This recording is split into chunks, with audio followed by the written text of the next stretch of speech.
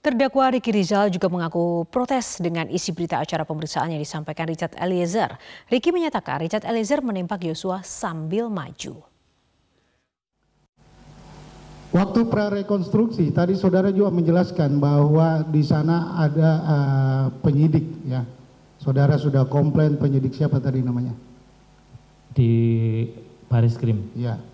Seingat saya Kompol Yon, Pak. Kompol John. Itu waktu prarekonstruksi itu tadi kan saudara juga sudah jelaskan tidak ada PH yang mendampingi. Saya tidak ada, Pak. Uh, Richard ada PH. Sepenglihatan saya ada. Apakah saat itu saudara di, uh, disuruh mengikuti prarekonstruksi berdasarkan kronologis dari mana? Dari saudara didengar dari Kuat atau dari Richard ini atau dari Romer?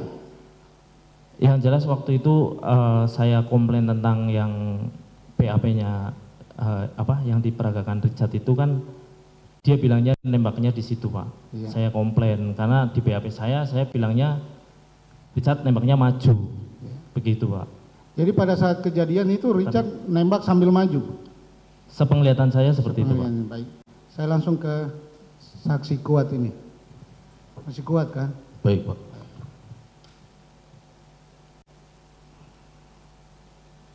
Ini nasib saudara juga supaya menjelaskan yang sebenar-benarnya ya. Iya Pak. Tadi saksi ini dua kali naik ke diterangkan dua kali naik ke lantai tiga waktu di Saguling. Satu kali menemani mengantar Ibu Putri naik ke atas, yang keduanya bersama Richard. Betul. Baik. Saudara ketemu Pak Ferdi Sambo tidak? Tidak. Tidak ketemu di situ? Tidak. Tidak pernah ditelepon juga? Tidak.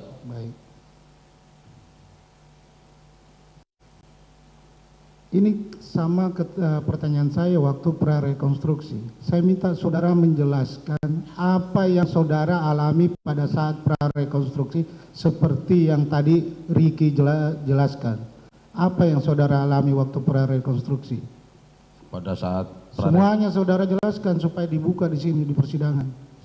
Hmm. uh, pada saat rekonstruksi di PAP kan saya nggak pernah ditanyakan pisau itu ada di mana. Yang saya jawab kan saya kasihkan Yogi. Hmm. Tapi pada saat prarekon saya suruh dipegang tas yang ada pisau, ada isi pisaunya. Hmm. Waktu terus? itu yang namanya Kompol Adit. Nah, terus? Saya bilang Pak, emang saya kalungan tas waktu itu. Hmm. Udah pakai dulu aja. Pak, CCTV-nya mana? Saya lihat dulu. Karena saya nggak yakin, saya bilang gitu. Hmm. Udah pakai ada.